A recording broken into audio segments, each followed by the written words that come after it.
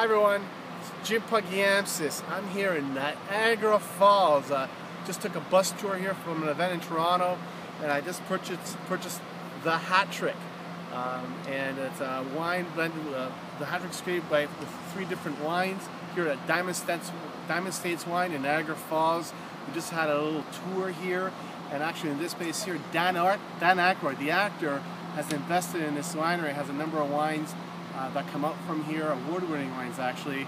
So it's been a great opportunity here to uh, to come and see the, how the wine is made and get that. So I'm doing this because I believe there's a hockey season, ladies and gentlemen. It will happen.